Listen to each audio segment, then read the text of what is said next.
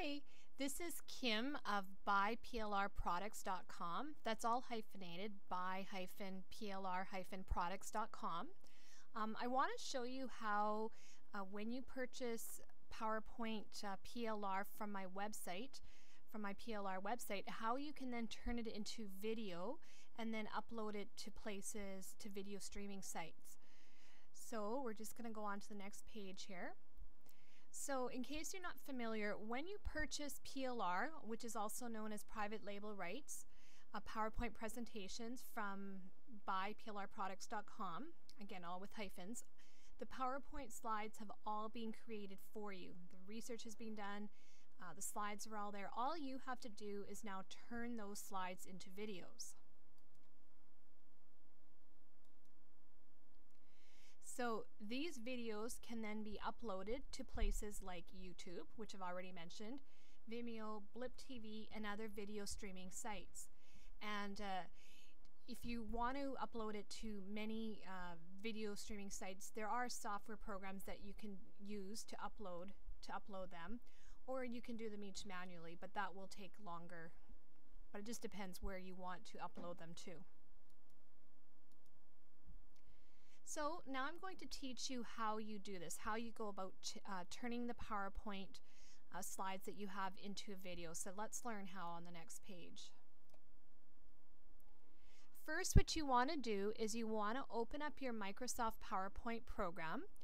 If you don't have uh, PowerPoint, you can still use um, other programs. So it doesn't mean that you, you can't uh, use the PowerPoint slides and turn them into video. You can use uh, sites like openoffice.org or libreoffice.org. Um, I've got the uh, website addresses right there.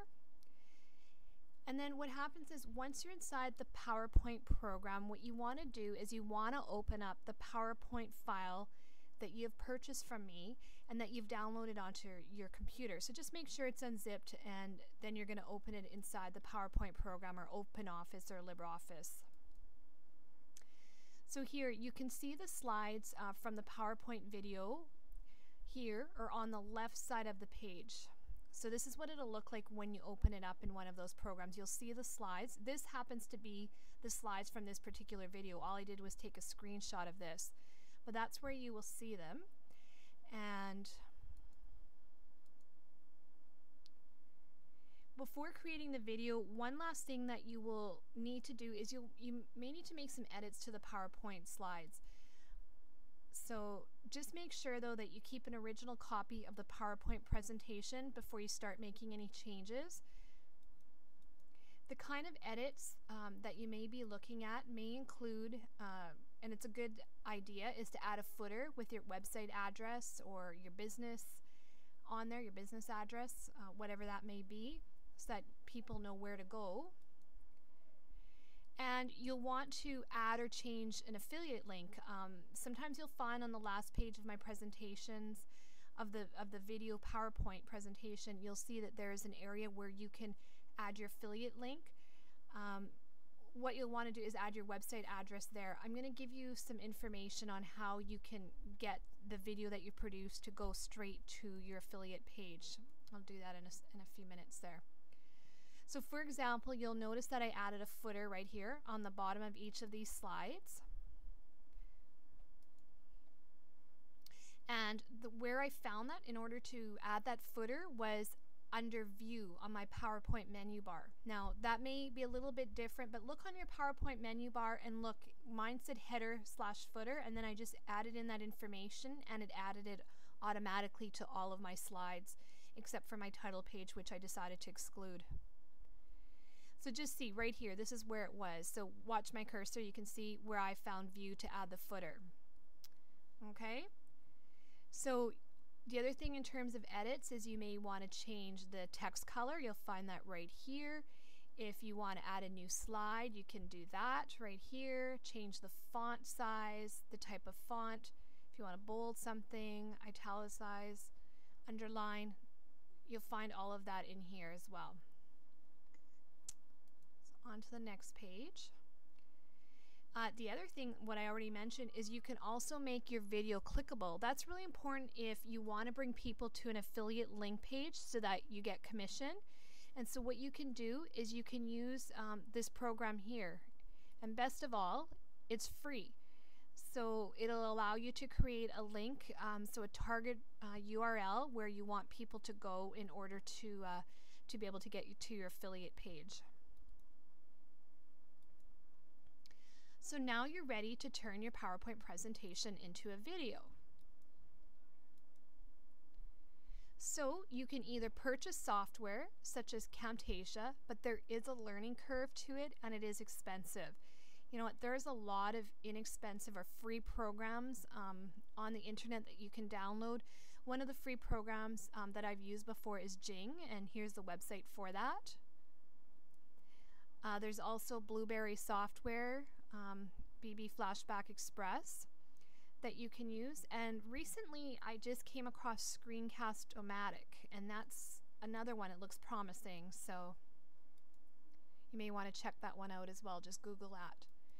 So a few important things. Just remember though, Jing software, even if you buy the, um, you upgrade to the to the paid, uh, the paid one, I think the paid one is something like either about 10 but somewhere between $10 and $15 a year.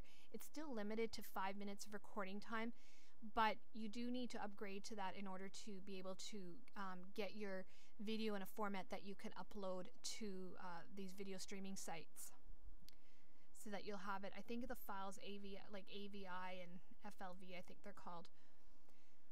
The Blueberry software allows more than five minutes. Um, just however though, make sure to keep your videos as brief as possible to keep your audience interested. And I see I'm already over six minutes, so I'm want to keep you interested in this. Now that you have the recording software, what you want to do is pull up the full screen of the slideshow. So what I do is I go at the top of my PowerPoint menu and I go under slideshow and then it's and then I look for view show and I'll pull up the full screen that way.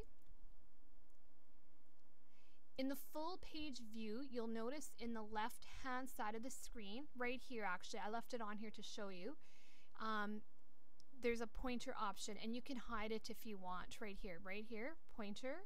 So right now it's automatic. I can hide it and it wouldn't even show up on there. And all I would do is to advance the slides, I can click my mouse while I'm while I'm recording and speaking. Um, if you're wondering how I've faded these in and done some neat little graphics or, you know, moving in my text and that and, and fading in um, so you can see the text, uh, I did that within my PowerPoint before I even recorded it. It's on the right hand side of the screen and it's in the animated slides portion, so you can do that as well. Um, what you're going to need is you're going to need a microphone to be plugged into your computer if you are speaking while you manually advance the slides. And I really recommend you add your voice rather than just adding background music to the slides. It just makes it much more interactive. And uh, to tell you the truth, I find music in the background uh, honestly um, kind of annoying, and I often mute it anyway. And just one last important thing is always remember that if you've purchased a PLR product from anywhere, not just from my store, but anywhere, then others have also purchased it.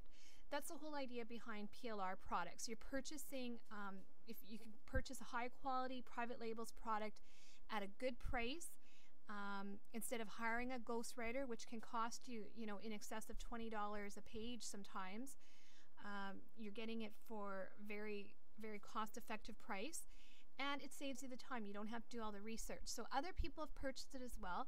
Just be sure not to say that you are the author for that product. Instead, use words like compiled by when you're creating your, your videos and, and uh, you're putting together your PLR products or brought to you by and so on. Words like that. That just protects the integrity of all PLR users and their subscribers.